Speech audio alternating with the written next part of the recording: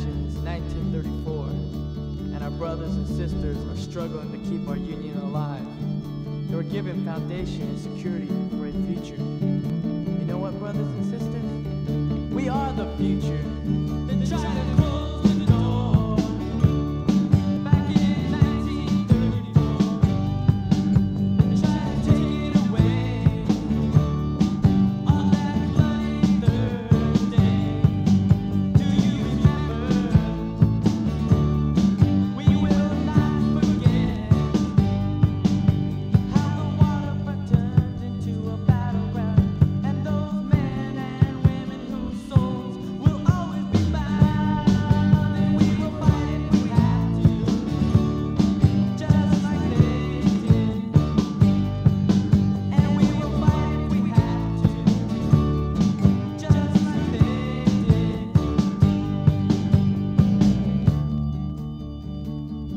It's 1986, and I'm a part of a new generation of brothers and sisters. It's been a long 52 years. And you know what, brothers and sisters?